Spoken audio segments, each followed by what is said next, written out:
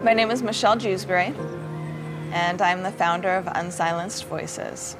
Unsilenced Voices is a nonprofit organization, and our focus is on domestic violence victims and survivors.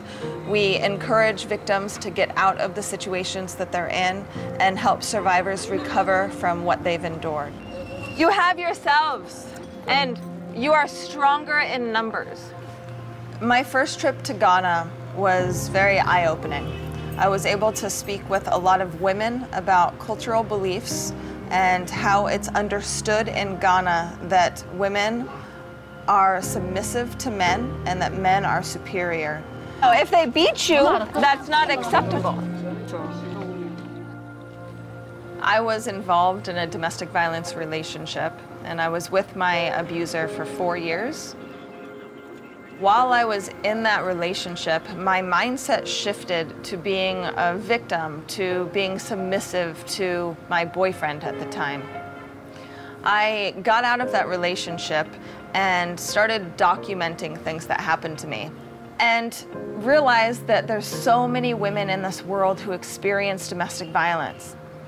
The most important thing that I learned from that relationship is that it wasn't my fault.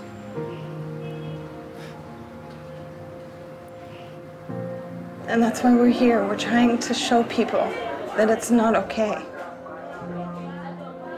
We have to show people. That's what we're doing. What we want to do is we want to come back and we want to build shelters. We want to give you a place to sleep that's safe. I want to help. Say God, God bless you.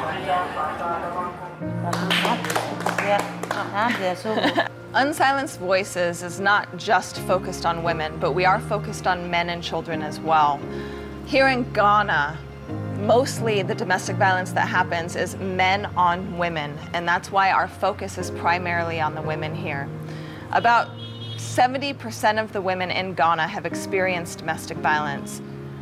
I want to encourage other victims and survivors that it's not your fault and that it's very essential for healing that you understand that it's not your fault.